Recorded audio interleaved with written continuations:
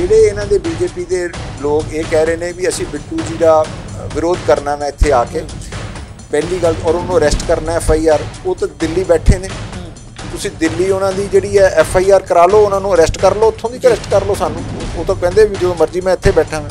ਜੇ ਤੁਸੀਂ ਜੰਤਰ ਜੇ ਉਹਨਾਂ ਦੇ ਬਰਾਬਰੀ ਕਰਨੀ ਹੈ ਤੇ ਜੰਤਰ ਮੰਤਰ ਉਹਨਾਂ ਦੇ ਬਰਾਬਰ ਇੱਕ ਧਰਨਾ ਲਾ ਲਓ ਤੇ ਤੁਸੀਂ ਵੀ ਜਿਵੇਂ ਉਹ ਠੰਡ ਦੇ ਵਿੱਚ ਸਾਰੇ ਦਿਨ 'ਚ ਬੈਠੇ ਆਪਣੇ ਆਪ ਨੂੰ ਉਹਦੇ ਨਾਲ ਉਹਨਾਂ ਨਾਲ ਕਾਂਗਰਸੀ ਸਾਰੇ ਬੈਠ ਕੇ ਉਹਨਾਂ ਦਾ ਸਮਰਥਨ ਦੇ ਰਿਹਾ ਤੁਸੀਂ ਵੀ ਭਾਜਪਾ ਵਾਲੇ ਵੀ ਉੱਥੇ ਕਰ ਲਓ। ਉਹ ਵਕਤ ਕਰੀਬ ਆ ਬੈਠਾ ਹੈ ਇਹ ਖਾਕ ਨਸ਼ੀਨੋਂ ਉੱਠ ਬੈਠੋ। ਉਹ ਵਕਤ ਕਰੀਬ ਆ ਬੈਠਾ ਹੈ ਜਬ ਤਾਜ ਉਛਾਲੇ ਜਾਣਗੇ ਔਰ ਤਖਤ ਗਿਰਾਏ ਜਾਣਗੇ। ਤਾਂ ਮੇਰੀ ਮੇਰੀ ਬੇਨਤੀ ਇਹ ਹੈ ਵੀ ਜਿਵੇਂ ਇਹ ਵੀ ਤਖਤ ਜਿਹੜਾ ਗੋਦੀ ਮੀਡੀਆ ਦਾ ਸੀਗਾ ਨਾ ਇਹ ਗਿਰ ਗਿਆ ਹੈ। ਮੌਬ ਲਿੰਚਿੰਗ ਦਾ ਵਰਡ ਹੈਗਾ ਵਾ 2014 ਤੋਂ ਬਾਅਦ ਸਾਨੂੰ ਸਮਝ ਆਇਆ ਵਾ ਜੀ। ਮੌਬ ਲਿੰਚਿੰਗ ਹੁੰਦੀ ਕੀ ਹੈ ਜਦੋਂ ਇਹ ਬੀਜੇਪੀ ਆਰਐਸਐਸ ਦੇ ਬੰਦਿਆਂ ਨੇ ਕਰਕੇ ਦਿਖਾਇਆ। ਕਰਕੇ ਦਿਖਾਇਆ। ਇਹਨਾਂ ਨੇ ਲੋਕਾਂ ਨੂੰ ਸੜਕਾਂ ਦੇ ਉੱਤੇ ਮਾਰਿਆ ਵਾ। ਭਾਜਪਾ ਜਾਂ ਆਰਐਸਐਸ ਦਾ ਇਤਿਹਾਸ ਕੀ ਹੈ? ਜੀ। ਇਹ ਤਾਂ ਪਿੱਠੂ ਰਹੇ ਨੇ। ਇਹ ਤਾਂ ਪਿੱਠੂ ਰਹੇ ਨੇ ਅੰਗਰੇਜ਼ਾਂ ਦੇ। ਇਹ ਜਿਹੜੇ ਦਿਨਾਂ ਦੇ ਵਿੱਚ ਜਿਹੜੀ ਸ਼ਹਾਦਤਾਂ ਦੇ ਵਿੱਚ ਜਿਹੜੇ ਦਿਨ ਜਿਹੜੇ ਚੱਲਦੇ ਪਏ ਹੈਗੇ ਆ ਇਹਨਾਂ ਨੂੰ ਉਸ ਚੀਜ਼ ਦੀ ਗੱਲ ਨੂੰ ਸਮਝ ਕਿਉਂ ਨਹੀਂ ਆ ਰਹੀ? ਪੋਲੀਟੀਕਲ ਮੂਵਮੈਂਟ ਨਹੀਂ ਹੈ। ਇਹ ਪਹਿਲਾ ਮੂਵਮੈਂਟ ਜਿਹੜਾ ਮੇਰਾ ਖਿਆਲ ਹਿਸਟਰੀ ਆਫ ਆਪਣੇ ਦੇਸ਼ ਦੇ ਵਿੱਚ ਹੈ ਕਿ ਜਿਹੜਾ ਨਾਨ ਪੋਲੀਟੀਕਲ ਹੈ ਇਕਨੋਮਿਕ ਕਲਾਸ ਇੱਕ ਕਲਾਸ ਮੂਵਮੈਂਟ ਚੱਲ ਰਹੀ ਹੈ। ਔਰ ਇਸ ਕਲਾਸ ਮੂਵਮੈਂਟ ਨੂੰ ਇੱਕ ਇਹਦੇ ਨਾਲ ਪ੍ਰੋਪੇਗੈਂਡਾ ਦੇ ਨਾਲ ਇਹ ਆਪਣੀਆਂ ਹੋਛੀਆਂ ਹਰਕਤਾਂ ਦੇ ਨਾਲ ਇਹਨਾਂ ਨੂੰ ਕਾਸਟ ਦੇ ਵਿੱਚ ਇਹਨੂੰ ਰਿਲੀਜਨ ਦਾ ਟਿੰਟ ਦੇ ਕੇ ਇਹਨਾਂ ਨੂੰ ਹੋਰ ਗੱਲਾਂ ਕਰਕੇ ਇਹ ਖੇਡ ਰਹੇ ਆ ਉਸ ਅੱਗ ਦੇ ਨਾਲ। ਜਿਹੜੇ ਉਹਨਾਂ ਨੇ ਵੱਡੇ ਲੀਡਰਾਂ ਨੇ ਜਿਹੜੀ ਉਹਨਾਂ ਨੇ ਗੱਲ ਕਹੀ ਕਿ ਅਸੀਂ ਇਹਨੂੰ ਨਾਨ ਪੋਲੀਟੀਕਲ ਰੱਖਣਾ ਹੈ ਜੀ। ਇਹੀ ਇਸ ਇਹਦੀ ਪਾਰਟ ਇਹਦੀ ਇਹਦੀ ਸਟਰੈਂਥ ਹੈਗੀ ਹੈ ਜੀ। ਜਿਸ ਦਿਨ ਇਹ ਪੋਲੀਟੀਕਲ ਹੋਣ ਦੀ ਕੋਸ਼ਿਸ਼ ਕਰਨਗੇ ਇਹ ਆਪਸ 'ਚ ਹੀ ਲੜਨਗੇ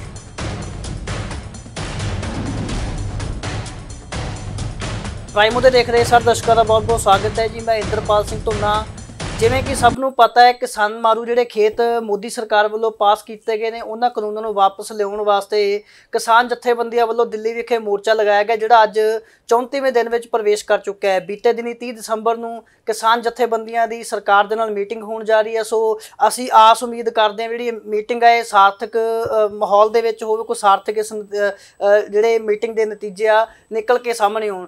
ਪਰ ਦੂਜੇ ਪਾਸੇ ਦੇਖਿਆ ਤਾਂ ਸਿਆਸਤ ਨੇ ਵੀ ਆਪਣਾ ਰੰਗ ਫੜ ਲਿਆ ਹੈ। ਭਾਜਪਾ ਲਗਾਤਾਰ ਕਾਂਗਰਸ ਕਾਂਗਰਸ ਪਾਰਟੀ ਤੇ ਐਲੀਗੇਸ਼ਨ ਲਗਾ ਰਹੀ ਹੈ ਕਿਉਂਕਿ ਖੇਤੀ ਕਾਨੂੰਨਾਂ ਨੂੰ ਲੈ ਕੇ ਪੰਜਾਬ ਭਾਜਪਾ ਦਾ ਪੰਜਾਬ ਹੀ ਨਹੀਂ, ਦੇਸ਼ ਦੇ ਵੱਖ-ਵੱਖ ਹਿੱਸਿਆਂ ਵਿੱਚ ਵਿਰੋਧ ਹੋ ਰਿਹਾ ਪਰ ਸੂਬੇ ਦੇ ਵਿੱਚ, ਪੰਜਾਬ ਦੇ ਵਿੱਚ ਕਾਂਗਰਸ ਸਰਕਾਰ ਹੋਣ ਕਰਕੇ ਕਾਂਗਰਸ ਨਿਸ਼ਾਨੇ ਤੇ ਬੀਜੇਪੀ ਆਗੂ ਦਾ ਸਾਫ਼ ਤੌਰ ਤੇ ਕਹਿਣਾ ਹੈ ਵੀ ਜਿਹੜੀ ਪੰਜਾਬ ਪੁਲਿਸ ਹੈ, ਉਹ ਕਾਂਗਰਸ ਵਰਕਰ ਬਣ ਕੇ ਕਾਂਗਰਸ ਪਾਰਟੀ ਹੈ ਜਿਹੜਾ, ਉਹ ਸਾਥ ਦੇ ਰਹੀ ਹੈ। ਅੱਜ ਬੀਤੇ ਨੇ ਡੀਜੀਪੀ ਨੂੰ ਮਿਲ ਕੇ ਆਏ ਸੀ ਤੇ ਬੀਜੇਪੀ ਵੱਲੋਂ ਅੱਜ ਵੀ ਪ੍ਰੈਸ ਕਾਨਫਰੰਸ ਕੀਤੀ ਗਈ ਜੋ ਉਹਨਾਂ ਨੇ ਗੱਲਾਂ ਬਾਤਾਂ ਕੀਤੀਆਂ। ਉਹਦੇ ਬਾਰੇ ਅਸੀਂ ਚਰਚਾ 'ਚ ਤੁਹਾਡੇ ਨਾਲ ਜੁੜਾਂਗੇ।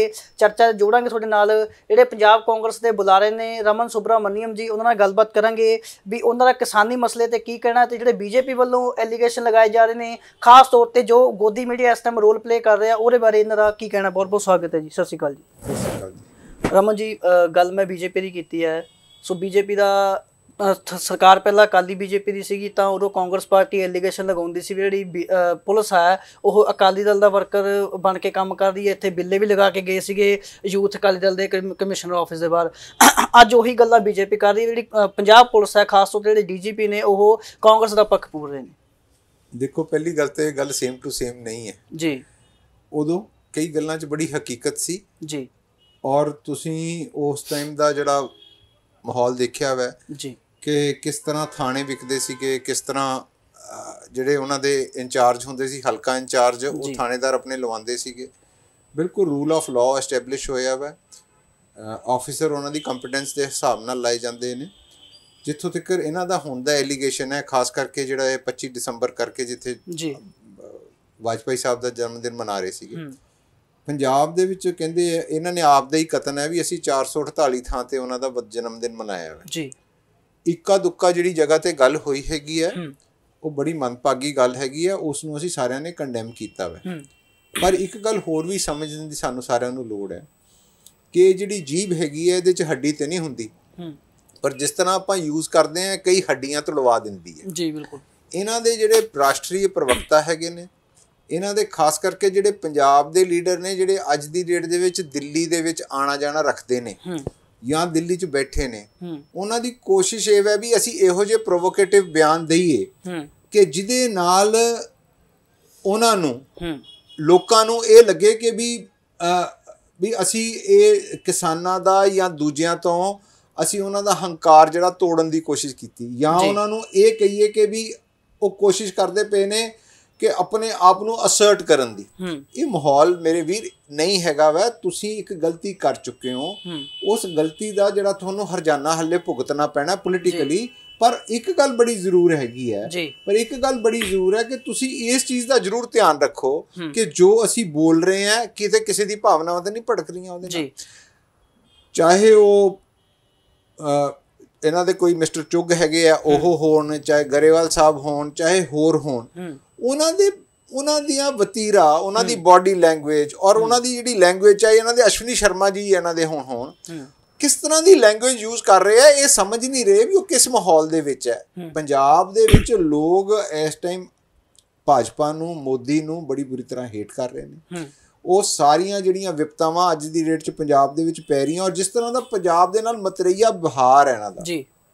ਚਾਹੇ ਜੀਐਸਟੀ ਦੇ ਪੈਸੇ ਹੋਣ ਹੂੰ। ਚਾਹੇ ਰੂਰਲ ਡਿਵੈਲਪਮੈਂਟ ਦੇ ਪੈਸੇ ਹੋਣ ਚਾਹੇ ਸਾਡੇ ਪ੍ਰੋਜੈਕਟਸ ਹੋਣ। ਹਰ ਜਗ੍ਹਾ ਤੇ ਇਹਨਾਂ ਦਾ ਕਿੰਤੂ ਪਰੰਤੂ ਸਾਡੇ ਨਾਲ ਹੋ ਰਿਹਾ ਵੈ ਔਰ ਉਹ ਡਾਇਰੈਕਟਲੀ ਜਾਂ ਇਨਡਾਇਰੈਕਟਲੀ ਜਿਹੜਾ ਵੈ ਕਿਸਾਨਾਂ ਨੂੰ ਆਮ ਆਦਮੀ ਨੂੰ ਇੱਥੋਂ ਦੇ ਵਪਾਰ ਨੂੰ ਜਿਹੜਾ ਵੈ ਇਫੈਕਟ ਕਰ ਰਿਹਾ। ਰਮਨ ਜੀ ਉਹਨਾਂ ਨੇ ਤਰਕ ਜਿਹੜਾ ਆਪਣਾ ਦਿੱਤਾ ਵੀ ਸਾਡਾ ਵਿਰੋਧ ਹੋ ਰਿਹਾ ਵਾ ਉਹ ਕਾਂਗਰਸ ਪਾਰਟੀ ਦੇ ਵਰਕਰ ਕਰ ਰਹੇ ਆ ਪੁਲਿਸ ਨਾਲ ਮਿਲੀ ਹੋਈ ਹੈ ਤੇ ਨਾਲ ਉਹਨਾਂ ਨੇ ਜਿਹੜੇ ਟਾਵਰਾਂ ਦੇ ਉੱਤੇ ਕਿਸਾਨ ਲੋਕ ਜਿਹੜੇ ਜਿਹੜੇ ਬੀਜੇਪੀ ਤੋਂ ਇਸ ਟਾਈਮ ਔਖੇ ਨੇ ਉਹਨਾਂ ਦਾ ਇੱਕ ਦਰਦ ਹੈਗਾ ਵੀ ਜਿਹੜਾ ਅਡਾਨੀ ਅੰਬਾਨੀ ਨੇ ਸਾਡੇ ਦੇਸ਼ ਨੂੰ ਵੇਚ ਰਹੇ ਨੇ ਉਹਨਾਂ ਦੇ ਹੱਥ ਵਿਕ ਵਿਕਦਾ ਜਾ ਰਿਹਾ ਤਾਂ ਉਹਨਾਂ ਦੇ ਜਿਹੜੇ ਟਾਵਰ ਨੇ ਉਹ ਬੰਦ ਕੀਤੇ ਜਾ ਰਹੇ ਨੇ। ਉਹ ਟਾਵਰਾਂ ਦਾ ਹਵਾਲਾ ਵੀ ਦਿੱਤਾ ਵੀ ਟਾਵਰਾਂ ਨੂੰ ਤੋੜਨ ਤੋੜ ਭੰਨ ਕਰਨ ਤੇ ਉਹਨਾਂ ਨੂੰ ਬੰਦ ਕਰਨ ਦੇ ਬਾਵਜੂਦ ਜਿਹੜੇ ਮੁੱਖ ਮੰਤਰੀ ਨੇ ਕੋਈ ਉਹ ਤੇ ਐਕਸ਼ਨ ਨਹੀਂ ਲੈ ਰਹੇ ਤੇ ਜਿਹੜੀ ਕਾਨੂੰਨੀ ਵਿਵਸਥਾ ਪੂਰੀ ਤਰ੍ਹਾਂ ਡਗਮਗਾ ਗਈ ਹੈ ਪੰਜਾਬ ਦੀ। ਮੇਰਾ ਫੇਰ ਇਸ ਗੱਲ ਨੂੰ ਹੂੰ। ਜਿਹੜਾ ਵੈ ਕਿ ਵੀ ਇਹ ਨਾ ਜਿਹੜੇ ਟਾਵਰਾਂ ਤੇ ਅਟੈਕ ਹੋਇਆ ਵੈ ਹੂੰ। ਜਾਂ ਕਿਤੇ ਟਾਵਰਾਂ ਨੂੰ ਡਿਸਮੈਂਟਲ ਕਰਨ ਦੀ ਜਾਂ ਉਹਨਾਂ ਨੂੰ ਰੋਕਣ ਦੀ ਕੋਸ਼ਿਸ਼ ਕੀਤੀ ਹੈ ਬਿਜਲੀ ਦੇ ਕਨੈਕਸ਼ਨ ਉਹਨਾਂ ਦੇ ਕੱਟੇ ਗਏ ਆ। ਇਹ ਇੱਕ ਨਾ ਗੁਰੀਲਾ ਵਾਰਫੇਅਰ ਜਿਵੇਂ ਗੁਰੀਲਾ ਅਟੈਕ ਹੁੰਦਾ ਵੈ ਇਹ ਕੋਈ ਪਲੈਨਡ ਅਟੈਕ ਨਹੀਂ ਹੁੰਦਾ। ਜਿਵੇਂ ਕਿਸੇ ਪਿੰਡ ਹਰ ਥਾਂ ਤਾਂ ਪੁਲਿਸ ਨਹੀਂ ਹੋ ਸਕਦੀ ਨਾ। ਹੂੰ। ਪਰ ਇਮੀਡੀਏਟਲੀ ਜਦੋਂ ਇਹ ਚੀਜ਼ ਸਾਡੇ ਨੋਟਿਸ 'ਚ ਆਈ ਹੂੰ। ਕੈਪਟਨ ਅਮਰਿੰਦਰ ਸਿੰਘ ਨੇ ਪੁਲਿਸ ਨੂੰ ਵੀ ਹਦਾਇਤ ਦਿੱਤੀ ਹੈ ਔਰ ਲੋਕਾਂ ਨੂੰ ਅਪੀਲ ਵੀ ਕੀਤੀ ਹੈ ਕਿ ਅੱਜ ਦੀ ਡੇਟ ਦੇ ਵਿੱਚ ਤੁਸੀਂ ਸਾਨੂੰ ਸਾਰਿਆਂ ਨੂੰ ਪੂਰਾ ਰਾਈਟ ਹੈ ਕਿ ਵੀ ਅਸੀਂ ਸ਼ਾਂਤਮਈ ਤਰੀਕੇ ਦੇ ਨਾਲ ਜਿਹੜਾ ਵਾ ਆਪਣਾ ਵਿਰੋਧ ਜਤਾਈਏ।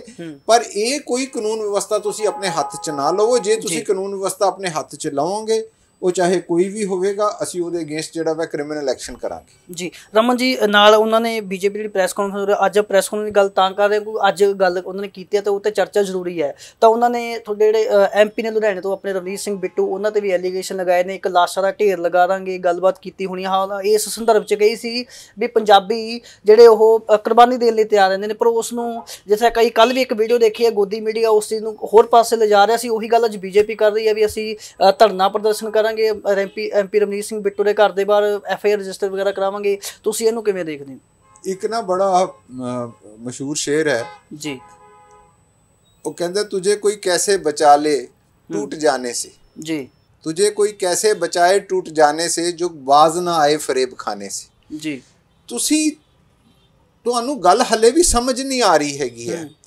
ਰਵਨੀਤ ਸਿੰਘ ਬਿੱਟੂ ਜਿਹੜੇ ਮੈਂਬਰ ਪਾਰਲੀਮੈਂਟ ਨੇ ਜੀ। ਇੱਕ ਸ਼ਹੀਦ ਪਰਿਵਾਰ ਦੇ ਵਾਰਿਸ ਨੇ ਹੂੰ ਉਹਨਾਂ ਦਾ ਉਹ ਜੋ ਕਹਿ ਰਹੇ ਨੇ ਪਹਿਲਾਂ ਤਾਂ ਉਹਨਾਂ ਦੀ ਗੱਲਾਂ ਤੇ ਧਿਆਨ ਨਾਲ ਸੁਣੋ। ਜੀ। ਤੁਸੀਂ ਕਹਿ ਰਹੇ ਹੋ ਕਿ ਵੀ ਉਹਨਾਂ ਨੇ ਲਾਸ਼ਾਂ ਦੇ ਢੇਰ ਲਵਾਉਣ ਦੀ ਗੱਲ ਕਹੀ। ਉਹ ਇਹ ਕਹਿ ਰਹੇ ਕਿ ਅਸੀਂ ਮਰਜੀਵੜੇ ਆ ਅਸੀਂ ਤਾਂ ਆਪਣੀਆਂ ਜਾਨਾਂ ਤੱਕ ਕੁਰਬਾਨ ਕਰ ਦਿਆਂਗੇ ਇਸ ਕਾਜ਼ ਲਈ ਪੰਜਾਬ ਤੇ ਕਿਸਾਨੀ ਦੇ ਲਈ। ਤੇ ਜੇ ਕੋਈ ਬੰਦਾ ਦੇਖੋ ਇਹ ਗੱਲਾਂ ਇਹਨਾਂ ਨੂੰ ਕਿਉਂ ਨਹੀਂ ਸਮਝ ਆਉਂਦੀਆਂ ਪਈਆਂ? ਭਾਜਪਾ ਜਾਂ ਆਰਐਸਐਸ ਦਾ ਇਤਿਹਾਸ ਕੀ ਹੈ? ਜੀ। ਇਹ ਤਾਂ ਪਿੱਠੂ ਰਹੇ ਨੇ। ਇਹ ਤਾਂ ਪਿੱਠੂ ਰਹੇ ਨੇ ਅੰਗਰੇਜ਼ਾਂ ਦੇ। ਇਹ ਜਿਹੜੇ ਦਿਨਾਂ ਦੇ ਵਿੱਚ ਜਿਹੜੀ ਸ਼ਹਾਦਤਾਂ ਦੇ ਵਿੱਚ ਜਿਹੜੇ ਦਿਨ ਜਿਹੜੇ ਚੱਲਦੇ ਪਏ ਹੈਗੇ ਆ ਇਹਨਾਂ ਨੂੰ ਉਸ ਚੀਜ਼ ਦੀ ਗੱਲ ਨੂੰ ਸਮਝ ਕਿਉਂ ਨਹੀਂ ਆ ਰਹੀ? ਜੀ। ਕਿ ਵੀ ਲੋਕ ਜਿਹੜੇ ਇੱਥੇ ਸਭ ਕੁਝ ਤਲੰਜਲੀ ਦੇ ਕੇ ਉੱਥੇ ਜੀ। ਜਾ ਕੇ ਬੈਠ ਗਏ ਨੇ। ਔਰ ਤੁਸੀਂ ਤਾਂ ਧੁੰਨਾ ਸਾਹਿਬ ਉੱਥੇ ਜਾ ਕੇ ਦੇਖ ਕੇ ਆਏ ਹੋ। ਤੁਹਾਨੂੰ ਲੱਗਦਾ ਵੀ ਹੈ ਇਹਨਾਂ ਨੂੰ ਤੁਸੀਂ ਖਾਲਿਸਤਾਨੀ ਕਹਿ ਸਕਦੇ ਹੋ। ਤੁਸੀਂ ਕਹਿ ਸਕਦੇ ਹੋ ਵੀ ਇਹਨਾਂ ਨੂੰ ਕਦੀ ਅਰਬਨ ਨਕਸਲ ਕਹਿ ਸਕਦੇ ਹੋ? ਤੁਸੀਂ ਕਹਿ ਸਕਦੇ ਹੋ ਵੀ ਇਹ ਕੋਈ ਵੱਖਵਾਦੀ ਹੈ? ਤੁਸੀਂ ਜਿਹੜੀ ਇਹ ਕਨਸਟੀਟਿਊਸ਼ਨ ਦੀ ਗੱਲ ਜਾਂ ਜਿਹੜੀ ਇਹ ਹਿਊਮਨ ਰਾਈਟਸ ਦੀ ਗੱਲ ਕਰਦੇ ਆ ਤੇ ਭਾਜਪਾ ਦਾ ਜਿਹੜਾ ਇੰਚਾਰਜ ਇੱਕ ਇੱਥੋਂ ਦਾ ਹੈਗਾ ਵਾ ਜਿਹਨੂੰ ਤੁਸੀਂ ਸ਼੍ਰੀਨਗਰ ਦਿੱਤਾ ਹੋਇਆ ਵਾ। ਇਹਨੂੰ ਕਹ ਫਿਰ ਤੂੰ ਸ਼੍ਰੀਨਗਰ ਜਿਹੜਾ ਗੇੜਾ ਮਾਰ ਕੇ ਤਾਂ ਤੁਸੀਂ ਤਾਂ ਇਲੈਕਟਿਡ ਬੰਦੇ ਜਿਹੜੇ ਐਕਸ ਚੀਫ ਮਿਨਿਸਟਰਸ ਹੈਗੇ ਆ ਤੁਸੀਂ ਤਾਂ ਉਹਨਾਂ ਨੂੰ ਜਿਹੜਾ ਹੈਗਾ ਵਾ ਉਹਨਾਂ ਦੇ ਤੁਸੀਂ ਹਿਊਮਨ ਰਾਈਟਸ ਖਤਮ ਕਰ ਦਿੱਤੇ ਹੋਏ ਆ ਉੱਥੇ। ਤੁਸੀਂ ਹਿੰਦੁਸਤਾਨ ਦੇ ਵਿੱਚ ਮੌਬ ਲਿੰਚਿੰਗ ਦਾ ਵਰਡ ਹੈਗਾ ਵਾ। 2014 ਤੋਂ ਬਾਅਦ ਸਾਨੂੰ ਸਮਝ ਆਇਆ ਵਾ ਵੀ ਮੌਬ ਲਿੰਚਿੰਗ ਹੁੰਦੀ ਕੀ ਹੈ ਜਦੋਂ ਇਹ ਬੀਜੇਪੀ ਆਰਐਸਐਸ ਦੇ ਬੰਦਿਆਂ ਨੇ ਕਰਕੇ ਦਿਖਾਇਆ। ਇਹਨਾਂ ਨੇ ਲੋਕਾਂ ਨੂੰ ਸੜਕਾਂ ਦੇ ਉੱਤੇ ਮਾਰਿਆ ਵਾ। ਇਹਨਾਂ ਨੇ ਜਿਹੜੀਆਂ ਵਾ ਕਿਲਿੰਗਸ ਕੀਤੀਆਂ ਵਾ। ਇਹਨਾਂ ਨੇ ਕਿਲਿੰਗਸ ਕੀਤੀਆਂ ਵਾ। ਇਹਨਾਂ ਦੇ ਲੋਕਾਂ ਨੇ ਜਿਹੜੇ ਗੌਰੀ ਸ਼ੰਕਰ ਗੌਰੀ ਲੰਕੇਸ਼ ਵਗੈਰਾ ਦੀ ਤੁਸੀਂ ਬੰਦਿਆਂ ਨੂੰ ਇੰਟੈਲੈਕਚੁਅਲਸ ਨੂੰ ਮਾਰਿਆ ਵਾ ਜਿਹੜੇ ਤੁਹਾਡੇ ਖਿਲਾਫ ਜਿਹੜੇ ਸੀਗੇ ਬੋਲਦੇ ਪਏ ਟਾਰਗੇਟਡ ਕਿਲਿੰਗਸ ਜੀ। ਹੁਣ ਪੁਆਇੰਟ ਇਹ ਹੈ ਕਿ ਵੀ ਹੁਣ ਇਹ ਗੱਲ ਇਹ ਗੱਲ ਕੋਈ ਕੋਈ ਇਹਨਾਂ ਨੂੰ ਕੰਡੋਨ ਨਹੀਂ ਕਰਦਾ ਪਿਆ ਕਿ ਵੀ ਜੋ ਇਹ ਕਹਿ ਰਹੇ। ਪਰ ਤੁਸੀਂ ਘੱਟੋ ਘੱਟ ਮਾਹੌਲ ਜ਼ਰੂਰ ਦੇਖੋ। ਜੇ ਤੁਹਾਨੂੰ ਲੱਗਦਾ ਹੈ ਵੀ ਬਾਰਿਸ਼ ਆ ਗਈ ਹੈਗੀ ਹੈ ਤਾਂ ਛਾਤਾ ਜ਼ਰੂਰ ਖੋਲ ਲਓ। ਜੀ। ਤੁਹਾਡੇ ਅਗੇਂਸਟ ਘਰ ਘਰ ਦੇ ਵਿੱਚ ਰੋਸ਼ ਹੈ। ਤੁਸੀਂ ਜੇ ਕਹੋ ਕਿ ਵੀ ਹਰ ਜਗ੍ਹਾ ਤੇ ਹਰ ਥਾਂ ਤੇ ਜਿਹੜਾ ਵੀ ਹਰੇਕ ਪੋਲੀਟੀਕਲ ਬੀਜੇਪੀ ਦੇ ਵਰਕਰ ਨੂੰ ਸੁਰੱਖਿਆ ਮਿਲ ਜਾਵੇ ਜਿੰਨੀ ਸਰਕਾਰ ਦੇ ਸਕਦੀ ਹੈ ਵੱਡੇ ਵੱਡੇ ਲੀਡਰ ਜਿਨ੍ਹਾਂ ਜਿਹੜੇ ਇਹ ਜਿਹੜੇ ਇਹ ਗਲਤ ਬਿਆਨਬਾਜ਼ੀ ਜਾਂ ਭੜਕਾਊ ਬਿਆਨਬਾਜ਼ੀ ਕਰ ਰਹੇ ਨੇ ਜੀ। ਉਹਨਾਂ ਦੇ ਅਗੇਂਸਟ ਤਾਂ ਉਹਨਾਂ ਨੂੰ ਤਾਂ ਉਹਦਾ ਵੱਜ ਜਾਣਗੇ। ਜੀ। ਪਰ ਗੱਲ ਦੇਖੋ ਉਸ ਆਮ ਬੀਜੇਪੀ ਦਾ ਵਰਕਰ ਦਾ ਜਾਂ ਜਿਹੜਾ ਆਰਐਸਐਸ ਦੇ ਵਰਕਰ ਦਾ ਕੀ ਹੈ ਕਸੂਰ ਜੀ? ਜੀ। ਮੈਂ ਬਿਲਕੁਲ ਉਹਨਾਂ ਨਾਲ ਸਾਡੀ ਸਹਾਨੁਭੂਤੀ ਹੈਗੀ ਹੈ ਪਰ ਮੈਂ ਇੱਕ ਗੱਲ ਜਦੋਂ ਸਾਰਿਆਂ ਨੂੰ ਕਹਿੰਨੇ ਆ ਕਿ ਇਸ ਟਾਈਮ ਵਕਤ ਜਿਹੜਾ ਹੈਗਾ ਵਾ ਉਹਦੇ ਚ ਤਿਲਕਣ ਦੀ ਤਿਲਕਣ ਵਧੀ ਹੋਈ ਹੈ ਤਿਲਕਿਓ ਨਾ ਹੌਲੀ ਹੌਲੀ ਚੱਲੋ। ਚਾਹੇ ਉਹ ਕਾਂਗਰਸ ਦੇ ਬੰਦੇ ਨੇ ਚਾਹੇ ਬੀਜੇਪੀ ਦੇ ਬੰਦੇ ਨੇ ਚਾਹੇ ਅਕਾਲੀ ਦਲ ਨੇ ਚਾਹੇ ਆਮ ਆਦਮੀ ਪਾਰਟੀ ਹੈ ਮੈਂ ਬਿਲਕੁਲ ਇਸ ਗੱਲ ਦੇ ਵਿੱਚ ਹੈ ਕਿ ਸਾਰਿਆਂ ਨਾਲੋਂ ਇੰਪੋਰਟੈਂਟ ਤਾਂ ਇਹ ਹੈ ਵੀ ਸਾਡਾ ਅਮਨ ਕਾਨੂੰਨ ਜਿਹੜਾ ਵਾ ਕਿਸੇ ਹਾਲਤ ਵੀ ਖਰਾਬ ਨਾ ਹੋਵੇ। ਸਰਕਾਰ ਹਰ ਤਰੀਕੇ ਦੇ ਨਾਲ ਹਰ ਬੰਦੇ ਨੂੰ ਸੁਰੱਖਿਆ ਦੇਣ ਦੇ ਲਈ ਵਚਨਬੱਧ ਹੈ। ਪਰ ਐਕਸੀਡੈਂਟਸ ਕੈਨ ਹੈਪਨ ਐਨੀਵੇਅਰ ਇਹ ਐਕਸੀਡੈਂਟਸ ਨੂੰ ਕੰਟਰੋਲ ਕਰਨਾ ਜਿਹੜਾ ਵੈ ਇਹ ਆਮ ਬੰਦੇ ਦੀ ਆਪਣੀ ਸੁਰੱਖਿਆ ਆਪਣੇ ਹੱਥ ਵਾਲੀ ਗੱਲ ਹੈ ਕਿ ਤੁਸੀਂ ਘੱਟੋ ਘੱਟ ਅੱਜ ਦੀ ਡੇਟ ਦੇ ਵਿੱਚ ਵੱਡੇ ਲੈਵਲ ਦੇ ਲੀਡਰ ਜਿਹੜੇ ਆ ਉਧਰੋਂ ਸਰਕਾਰ ਦੇ ਉਧਰੋਂ ਕਿਸਾਨਾਂ ਦੇ ਜਿਹੜੇ ਜਿਹੜੇ ਵੀ ਸਟੇਕ ਹੋਲਡਰਸ ਆ ਇਸ ਟਾਈਮ ਪੂਰੀ ਬੜੇ ਧਿਆਨ ਦੇ ਨਾਲ ਉੱਥੇ ਗੱਲਾਂ ਬਾਤਾਂ ਚੱਲ ਰਹੀਆਂ ਵਾ।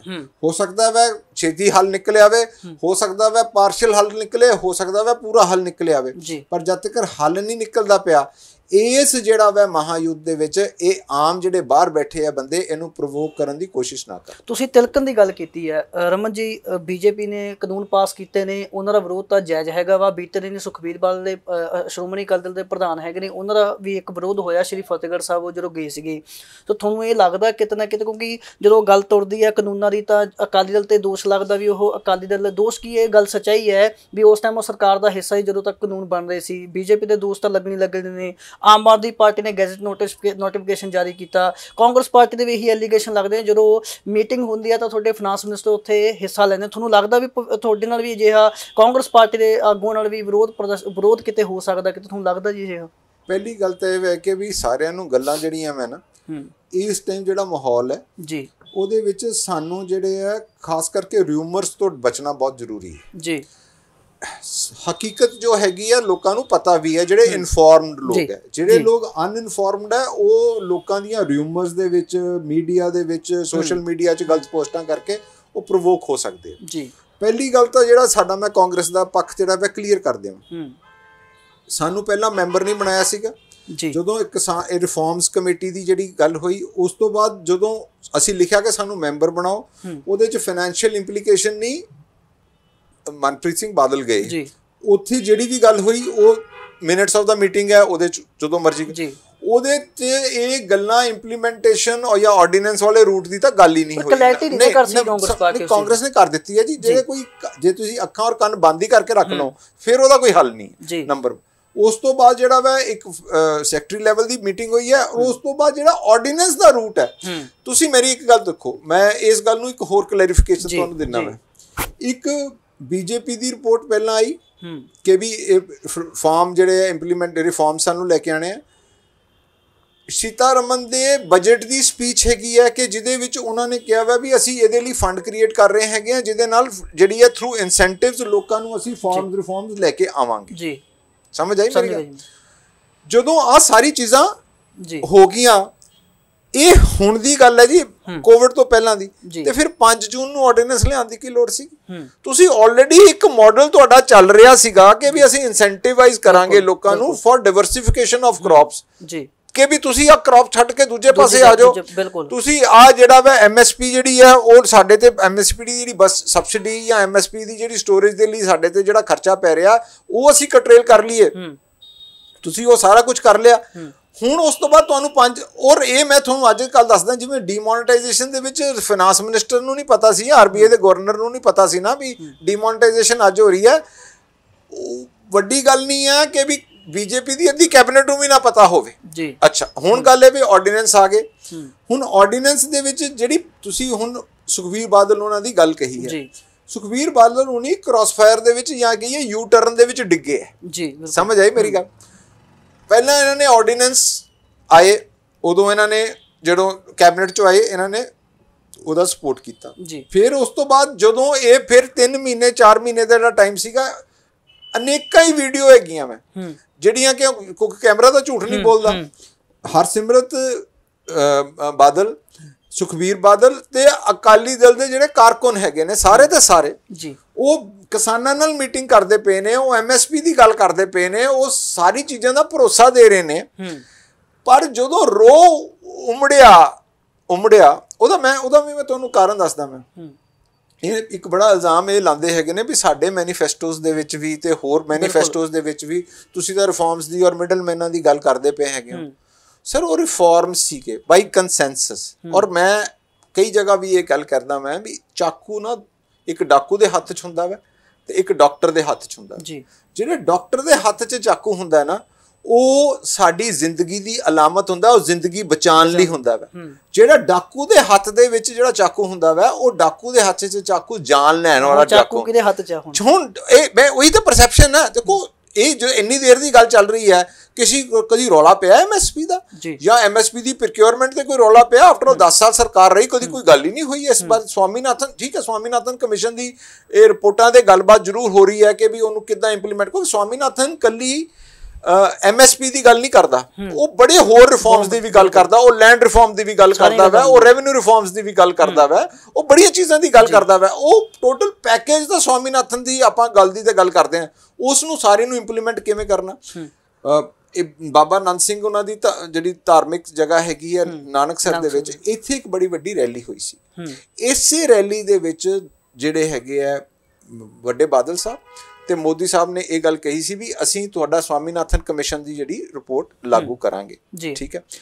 ਹੁਣ ਤੁਸੀਂ ਪੁੱਛੋ ਕਿ ਵੀ ਇਹ ਕਿਉਂ ਇਹ ਗੱਲ ਦਾ ਜਿਹੜਾ ਇਹ ਇਹ 2014 ਤੋਂ ਲੈ ਕੇ 2020 ਤੱਕ 6 ਸਾਲ ਦੇ ਵਿੱਚ ਜਿਸ ਤਰੀਕੇ ਦੇ ਨਾਲ ਭਾਜਪਾ ਜਾਂ ਮੋਦੀ ਸਰਕਾਰ ਨੇ ਕੰਮ ਕੀਤੇ ਆ ਲੋਕਾਂ ਦਾ ਵਿਸ਼ਵਾਸ ਉੱਠ ਗਿਆ। ਜੀ। ਡੀਮੋਨੇਟਾਈਜੇਸ਼ਨ ਐਕਸੀਡੈਂਟ ਕਰਤਾ। ਤੁਸੀਂ ਉਹਦੇ ਵਿੱਚ ਆਮ ਬੰਦਾ ਉਹਦੇ ਚ ਕੁਝ ਰਹਿ ਗਿਆ। ਲੋਕ ਫੇਰ ਨਾ ਬੋਲੇ ਲੋਕਾਂ ਦੀਆਂ ਜਾਨਾਂ ਗਈਆਂ। ਤੁਸੀਂ ਕਾਲਾ ਧਨ ਦੀ ਗੱਲ ਕਹੀ ਵਾਪਸ ਲੈ ਕੇ ਆਵਾਂਗਾ। ਜ਼ੀਰੋ ਆਇਆ ਵਾ ਜ਼ੀਰੋ ਬਟਾ ਜ਼ੀਰੋ। ਤੁਹਾਡੇ ਜਿਹੜੇ ਖਾਸ ਬੰਦੇ ਸੀ ਤੁਸੀਂ ਬਾਹਰ ਭਜਾ ਦਿੱਤੇ ਆ ਆਮ ਬੰਦੇ ਦੀ ਜਿਹੜੀ ਜੀਐਸਟੀ ਤੁਸੀਂ ਇੰਪਲੀਮੈਂਟ ਕੀਤੀ ਗਲਤ ਤਰੀਕੇ ਨਾਲ ਇੰਪਲੀਮੈਂਟ ਕਰ ਦਿੱਤੀ। ਫਿਰ ਤੁਸੀਂ ਕਾਨੂੰਨ ਜਿਹੜੇ ਲਾਗੂ ਕੀਤੇ ਚਾਹੇ ਉਹ ਸੀਏ ਸੀਗਾ ਚਾਹੇ ਐਨਆਰਸੀ ਦੀ ਐਨਆਰਸੀ ਦਾ ਜਿਹੜੀ ਗੱਲ ਚੱਲਦੀ ਹੈ ਉਹਦੇ ਨਾਲ ਦੇਖੋ ਕਿ ਕਿਦਾਂ ਜਿਹੜਾ ਲੋਕਾਂ ਦੇ ਵਿੱਚ ਰੋਸ਼ ਪੈਦਾ ਹੋਇਆ। ਫਿਰ ਤੁਸੀਂ ਧੱਕੇ ਦੇ ਨਾਲ ਹੁਣ ਦੇਖੋ ਮੈਂ ਤੁਹਾਨੂੰ ਗੱਲ ਕਰਦਾ ਇਹ ਇਹਨਾਂ ਦੀ ਆਦਤ ਬਣ ਗਈ ਹੈ ਵੀ ਕੋਈ ਕਹਿੰਦੇ ਕਨਸਟੀਟਿਊਸ਼ਨਲ ਵੈਲਿਊਜ਼ ਦੇ ਵਿੱਚ। ਤੁਸੀਂ 370 ਨੂੰ ਐਬਰੋਗੇਟ ਕੀਤਾ। 370 ਨੂੰ ਤੁਸੀਂ ਐਬਰੋਗੇਟ ਕਿਹਦੇ ਵਿੱਚ ਕੀਤਾ? ਤੁਸੀਂ ਐਬਰੋਗੇਟ ਕੀਤਾ ਉਹਨੂੰ ਵਿੰਗੇ ਤਰੀਕੇ ਦੇ ਨਾਲ ਜੀ। ਵਿੰਗੇ ਤਰੀਕੇ ਨਾਲ 368 ਦੀ ਜਿਹੜੀ ਜਿਹੜਾ ਆਰਟੀਕਲ ਹੈ ਉਹਦੀ ਅਮੈਂਡਮੈਂਟ ਕੀਤੀ ਉਹਦੇ ਨਾਲ ਤੁਸੀਂ ਉਸ ਨੂੰ ਦੀ ਇੰਟਰਪ੍ਰੀਟੇਸ਼ਨ ਦੇ ਨਾਲ ਤੁਸੀਂ 370 ਨੂੰ ਕਰੰਟ ਕਿਉਂਕਿ ਕਨਸਟੀਟਿਊਐਂਟ ਅਸੈਂਬਲੀ ਤਾਂ ਦੁਬਾਰਾ ਕਨਸਟੀਟਿਊਟ ਨਹੀਂ ਹੋ ਸਕਦੀ।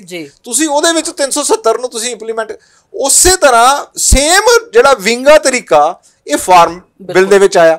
ਫਾਰਮ ਬਿੱਲ ਦੇ ਵਿੱਚ ਤੁਸੀਂ ਸਟੇਟ ਐਕਟ ਦੇ ਵਿੱਚ ਸਾਡੀ ਸਾਡਾ ਤੁਸੀਂ ਜਿਹੜੇ ਸਾਡਾ ਐਗਰੀਕਲਚਰ ਸੀ ਉਸ ਨੂੰ ਤਾਂ ਤੁਸੀਂ ਟੱਚ ਹੀ ਨਹੀਂ ਕਰ ਸਕਦੇ ਸੀ। ਸਮਝ ਆਈ?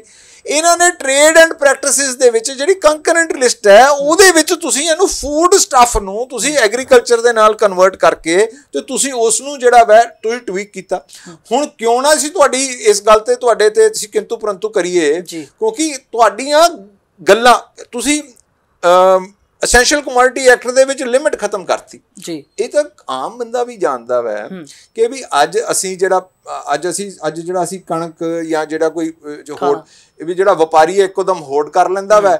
ਜਦੋਂ ਇੱਕੋਦਮ ਆਂਦਾ ਵੈ ਤੇ ਉਸ ਤੋਂ ਬਾਅਦ ਉਹ ਪ੍ਰਾਈਸ ਨੂੰ ਮੈਨੇਜ ਕਰਦਾ ਵੈ ਬਾਈ ਡਿਮਾਂਡ ਐਂਡ ਸਪਲਾਈ ਤੇ ਉਹ ਕਹਿੰਦੇ ਵੀ ਅਸੀਂ ਤਾਂ ਜਿਹੜੇ ਅਸੀਂ ਕਿੱਥੇ ਜਾਵਾਂਗੇ? ਉਸੇ ਤਰ੍ਹਾਂ ਤੁਸੀਂ ਕੰਟਰੈਕਟ ਕੰਟਰੈਕਟ ਫਾਰਮਿੰਗ ਦੇ ਵਿੱਚ ਪੰਜਾਬ ਦੇ ਵਿੱਚ ਹੋਰ ਜਗ੍ਹਾ ਦੇ ਵਿੱਚ ਕੇਸ ਰਿਹਾ ਕਿ ਜਿੱਥੇ ਜਿਹੜਾ ਕੰਟਰੈਕਟ ਕੰਟਰੈਕਟ ਕੀਤਾ ਗਿਆ ਲੋਕ ਭੱਜ ਗਏ। ਮੈਨੂੰ ਇੱਕ ਗੱਲ ਦੱਸੋ ਜਿੱਥੇ 60% ਲੋਕ ਡਾਇਰੈਕਟਲੀ ਫਾਰਮਿੰਗ ਕਰਦੇ ਹੋਣ 80% ਲੋਕ ਡਾਇਰੈਕਟਲੀ ਫਾਰਮਿੰਗ ਜਾਂ ਫਾਰਮ ਦੇ ਨਾਲ ਆਪਰੇਸ਼ਨਸ ਨਾਲ ਜੁੜੇ ਹੋਣ ਕੀ ਤੁਹਾਨੂੰ ਲੱਗਦਾ ਨਹੀਂਗਾ ਕਿ ਵੀ ਕੱਲੇ ਆਰਡੀਨੈਂਸ ਲਿਆਉਣ ਦੀ ਆਰਡੀਨੈਂਸ ਦੇ ਬਜਾਏ ਬਿੱਲ ਇੰਟਰੋਡਿਊਸ ਹੁੰਦਾ ਬਿੱਲ ਕਮੇਟੀ ਨੂੰ ਰੈਫਰ ਹੁੰਦਾ ਰੈਫਰ ਹੋ ਕੇ ਫਿਰ ਰਾਜ ਸਭਾ ਰਾਜ ਸਭਾ ਦੇ ਵਿੱਚ ਚਰਚਾ ਜ਼ਰੂਰੀ ਸੀਗੀ। ਚਰਚਾ ਜ਼ਰੂਰੀ ਸੀ। ਰਾਜ ਸਭਾ ਦੇ ਵਿੱਚ ਇਹ ਹਰਦੇ ਪਏ ਸੀਗੇ ਤੇ ਤੁਸੀਂ ਉੱਥੇ ਡਿਵੀਜ਼ਨਸ ਨਹੀਂ ਕਰਾਈਆਂ। ਤੁਸੀਂ ਉੱਥੇ ਤੁਸੀਂ ਵੌਇਸ ਵੋਟ ਦੇ ਨਾਲ ਉਥੋਂ ਪਾਸ ਕਰ ਦਿੱਤਾ। ਤੁਸੀਂ ਮਤਲਬ ਬੀਜੇਪੀ ਜਦੋਂ ਲੋਕਾਂ ਤੇ ਲਾਂਛਨ ਲਾਵੇ ਜਾਂ ਲੋਕਾਂ ਨੂੰ ਕਹੇ ਵੀ ਅਸੀਂ ਕਨਸਟੀਟਿਊਸ਼ਨਲ ਤਰੀਕੇ ਨਾਲ ਕੀਤਾ ਵੈ ਉਹਨਾਂ ਨੂੰ ਕਹੋ ਘੱਟੋ ਘੱਟ ਉਹ ਕਨਸਟੀਟਿਊਸ਼ਨਲ ਜਿਹੜੀਆਂ ਸਕੀਮ ਜਾਂ ਕਨਸਟੀਟਿਊਸ਼ਨਲ ਜਿਹੜੀ ਵੈਲਿਡਿਟੀ ਹੈਗੀ ਹੈ ਉਹਦੀ ਜਿਹੜੀ ਵੈਲਿਊ ਹੈ ਕੀ ਤੁਸੀਂ ਅਪਹੋਲਡ ਕੀਤੀ ਹੈ? ਇਹ ਲੋਕ ਇਹ ਟੈਸਟ ਦਾ ਪਾਸ ਕਰ ਲਓ। ਅਮਨ ਜੀ ਦੇ ਵਿੱਚ ਗੱਲ ਇੱਕ ਹੋਰ ਹੈ ਜਦੋਂ ਅਸੀਂ ਇਹੀ ਤਰਕ ਬੀਜੇਪੀ ਕੋਲ ਲੈ ਕੇ ਜਾਂਦੇ ਵੀ ਅੱਜ ਡਿਕਟੇਟਰਸ਼ਿਪ ਦਾ ਮਾਹੌਲ ਹੈਗਾ ਵਾ ਹਰ ਪਾਸੇ ਤਾਨਾਸ਼ਾਹ ਰਵਈਆ ਅਪਣਾਇਆ ਜਾ ਰਿਹਾ ਤਾਂ ਉਹਨਾਂ ਦਾ ਗੱਲ ਇਹ ਜਵਾਬ ਇਹ ਹੁੰਦਾ ਵਾ ਵੀ ਇੰਦਰਾ ਗਾਂਧੀ ਟਾਈਮ ਵੀ ਇਹ ਸੀ ਐਮਰਜੈਂਸੀ ਲੱਗੀ ਆ ਉਹਦੀ ਸਰਕਾਰ ਦੀ ਭੰਤੋੜ ਕੀਤੀ ਜਾਂਦੀ ਸੀ ਤੁਸੀਂ ਮੇਰੀ ਗੱਲ ਮੈਨੂੰ ਇੱਕ ਗੱਲ ਦੱਸੋ ਕਿ। ਵੀ ਆਪਾਂ ਹਿਸਟਰੀ ਤੋਂ ਸਿੱਖਣਾ ਹੁੰਦਾ ਵੈ ਕਿ ਹਿਸਟਰੀ ਨੂੰ ਰਿਪੀਟ ਕਰਨਾ ਹੁੰਦਾ? ਇਹ ਤਾਂ ਇਹ ਤਾਂ ਮੇਰਾ ਮੇਰੀ ਜੀ, ਬੇਨਤੀ ਮੇਰੀ ਇੱਕ। ਮੇਰੀ ਗੱਲ ਮੈਂ ਜਿਹੜੀ ਫੇਰ ਗੱਲ। ਇਹ ਗੱਲ ਕਹਿਣਾ ਹੈ ਜੀ। ਕਿ ਬੀਇੰਗ ਅ ਕਾਂਗਰਸਮੈਨ ਹੂੰ। ਇੱਕ ਤਾਂ ਮੈਨੂੰ ਸਮਝ ਮੈਂ ਮੇਰਾ ਸਮਝਣਾ ਹੁੰਦਾ ਵੈ ਕਿ ਵੀ have to live with history ਜੀ। ਹੂੰ। ਅਸੀਂ ਵੀ ਡੋਂਟ ਲਿਵ ਇਨ ਹਿਸਟਰੀ ਇਹ ਸਾਰਿਆਂ ਨਾਲੋਂ ਵੱਡੀ ਗੱਲ ਹੈ। ਬਿਲਕੁਲ। ਸਹੀ ਹੈ ਜਦੋਂ ਅੱਜ ਤੋਂ ਤੁਸੀਂ ਤੁਸੀਂ ਬਾਬਰ ਦੇ ਤੇ ਹਮਾਯੂ ਦੇ ਤੇ ਔਰੰਗਜ਼ੇਬ ਦੀਆਂ ਗੱਲਾਂ ਲੈ ਕੇ ਜੇ ਬੈਠ ਜਾਓਗੇ ਨਾ ਫਿਰ ਅੱਗੇ ਨਹੀਂ ਵੱਧ ਸਕੋਗੇ। ਫਿਰ ਤੁਸੀਂ ਸਟੋਨ ਏਜ ਤਾਂ ਚੱਲ ਜਾਓਗੇ ਪਿੱਛੇ ਦੇ ਪਿੱਛੇ ਚੱਲੀ ਜਾਓਗੇ ਅੱਗੇ ਨਹੀਂ ਵੱਧ ਸਕੋਗੇ। ਜੀ। ਜੇ ਉਸ ਐਮਰਜੈਂਸੀ ਦੀ ਜਿਹੜੀ ਹੈਗੀ ਹੈ ਅੱਜ ਤੱਕ ਜੇ ਨਿੰਦਾ ਹੋ ਰਹੀ ਹੈਗੀ ਹੈ ਤੇ ਫਿਰ ਉਸ ਤੋਂ ਅਸੀਂ ਕੋਈ ਮੁਨਕਰ ਤਾਂ ਹੈ ਨਹੀਂਗੇ ਮੈਨੂੰ ਇੱਕ ਗੱਲ ਸਮਝੋ। ਔਰ ਇਹ ਔਰ ਫਿਰ ਉਸੇ ਗੱਲਾਂ ਤੇ ਜਿਹੜੀ ਜਿਸ ਐਮਰਜੈਂਸੀ ਦੇ ਕਰਕੇ ਇੰਦਰਾ ਗਾਂਧੀ ਨੂੰ ਲਾ ਦਿੱਤਾ ਗਿਆ ਜੀ। ਉਸਨੇ ਰਿਅਲਾਈਜ਼ ਕੀਤਾ। ਸ਼ਾਹ ਕਮਿਸ਼ਨ ਬੈਠਿਆ ਤਕਲੀਫ ਸਹੀ ਫਿਰ ਲੋਕਾਂ ਵਿੱਚ ਗਈ ਫਿਰ ਲੋਕਾਂ ਦੀ ਜਿਹੜੇ ਹੈ ਕੌਨਫੀਡੈਂਸ ਜਿੱਤ ਕੇ ਤੇ ਵਾਪਸ ਆਈ। ਮੈਂ ਮੈਂ ਫਿਰ ਇਹ ਗੱਲ ਕਰਦਾ ਮੈਂ ਜਦੋਂ ਤੁਹਾਨੂੰ ਪਾਵਰ 'ਚ ਤੁਸੀਂ ਹੁੰਨੇ ਹੋ ਕੁਝ ਤਰ੍ਹਾਂ ਦੇ ਹਾਲਾਤ ਇਦਾਂ ਦੇ ਕ੍ਰੀਏਟ ਹੋ ਜਾਂਦੇ ਆ ਜਾਂ ਕ੍ਰੀਏਟ ਹੋ ਜਾਂਦੇ ਸਿਆਣੇ ਆਦਮੀ ਉਹ ਹੁੰਦੇ ਆ ਸਿਆਣੇ ਆਦਮੀ ਹੁੰਦੇ ਆਫਟਰ ਆਲ ਉਦੋਂ ਮੇਰੀ ਗੱਲ ਸੁਣ ਇੱਕ ਜਨਤਾ ਦਲ ਦੀ ਲਹਿਰ ਉੱਠੀ। ਜੀ। ਜੇ ਜੇਪੀ ਜਿਹੜੀ ਮੂਵਮੈਂਟ ਉੱਠੀ ਤੇ ਅਲਟੀਮੇਟਲੀ ਜੇਪੀ ਮੂਵਮੈਂਟ ਦਾ ਅੱਜ ਜਿਵੇਂ ਅੱਜ ਇੱਕ ਲਹਿਰ ਉੱਠੀ ਹੋਈ ਹੈ। ਜੇਪੀ ਮੂਵਮੈਂਟ ਦੇ ਵਿੱਚ ਅਲਟੀਮੇਟਲੀ ਕੀ ਹੋਇਆ? ਐਮਰਜੈਂਸੀ ਰਿਵੋਕ ਹੋਈ। ਜੀ। ਇਲੈਕਸ਼ਨ ਹੋਏ। ਇਲੈਕਸ਼ਨ ਇੰਦਰਾ ਗਾਂਧੀ ਕਾਂਗਰਸ ਹਾਰੀ। ਆਪੋਜੀਸ਼ਨ 'ਚ ਬੈਠੀ। ਲੋਕਾਂ 'ਚ ਦੁਬਾਰਾ ਗਈ ਦੁਬਾਰਾ ਜਿੱਤ ਕੇ ਆਈ। ਹੁਣ ਉਸ ਤੋਂ ਉਸ ਤੋਂ 10 ਗੁਣਾ ਵੱਡਾ ਹੂੰ। ਇਸ ਟਾਈਮ ਮੂਵਮੈਂਟ ਚੱਲ ਰਿਹਾ ਦੇਸ਼ 'ਚ। ਜੀ। ਉਸ ਤੋਂ 10 ਗੁਣਾ ਵੱਡਾ। ਪੋਲੀਟੀਕਲ ਮੂਵਮੈਂਟ ਨਹੀਂ ਹੈ ਇਹ ਪਹਿਲਾ ਮੂਵਮੈਂਟ ਜਿਹੜਾ ਮੇਰਾ ਖਿਆਲ ਹਿਸਟਰੀ ਆਫ ਆਪਣੇ ਦੇਸ਼ ਦੇ ਵਿੱਚ ਹੈ ਕਿ ਜਿਹੜਾ ਨਾਨ ਪੋਲੀਟੀਕਲ ਹੈ ਇਕਨੋਮਿਕ ਕਲਾਸ ਇੱਕ ਕਲਾਸ ਮੂਵਮੈਂਟ ਚੱਲ ਰਹੀ ਹੈ। ਔਰ ਇਸ ਕਲਾਸ ਮੂਵਮੈਂਟ ਨੂੰ ਇੱਕ ਇਹਦੇ ਨਾਲ ਪ੍ਰੋਪੇਗੈਂਡਾ ਦੇ ਨਾਲ ਇਹ ਆਪਣੀਆਂ ਹੋਛੀਆਂ ਹਰਕਤਾਂ ਦੇ ਨਾਲ ਇਹਨਾਂ ਨੂੰ ਕਾਸਟ ਦੇ ਵਿੱਚ ਇਹਨੂੰ ਰਿਲੀਜਨ ਦਾ ਟਿੰਟ ਦੇ ਕੇ ਇਹਨਾਂ ਨੂੰ ਹੋਰ ਗੱਲਾਂ ਕਰਕੇ ਇਹ ਖੇਡ ਰਹੇ ਆ ਉਸ ਅੱਗ ਦੇ ਨਾਲ। ਜੀ। ਇਹ ਤਾਂ ਸਾਡੇ ਔਰ ਇਸ ਮੂਵਮੈਂਟ ਨੇ ਮੈਂ ਤਾਂ ਨਾ ਜੀ ਇਸ ਗੱਲ ਨੂੰ ਸਮਝਦਾ ਮੈਂ ਕਿ ਇਸ ਮੂਵਮੈਂਟ ਨੇ ਪੰਜਾਬ ਨੂੰ ਇੱਕ ਉਹ ਪਹਿਚਾਨ ਜਿਹੜੀ ਬੜੀ ਦੇਰ ਤੋਂ ਇਹ ਵਾਂਝਾ ਰਹਿ ਗਿਆ ਸੀ ਜਾਂ ਜਿਹਦੀ ਗਵਾਚ ਗਈ ਸੀ ਉਹ ਲੱਭ ਲਈ। ਜੀ ਔਰ ਇਹ ਇਹ ਮੂਵਮੈਂਟ ਨੇ ਪੋਲੀਟੀਸ਼ੀਅਨਸ ਨੂੰ ਵੀ ਸਮਾਜ ਨੂੰ ਵੀ ਸਹੀ ਰਸਤੇ ਤੇ ਤੋਰਨ ਲਈ ਮਜਬੂਰ ਹੋ ਜਾਣਾ ਮੈਂ ਸਾਰਿਆਂ ਨੇ। ਸਹੀ ਕੰਮ ਕਰਨੇ ਹੀ ਪੈਣੇ ਆ।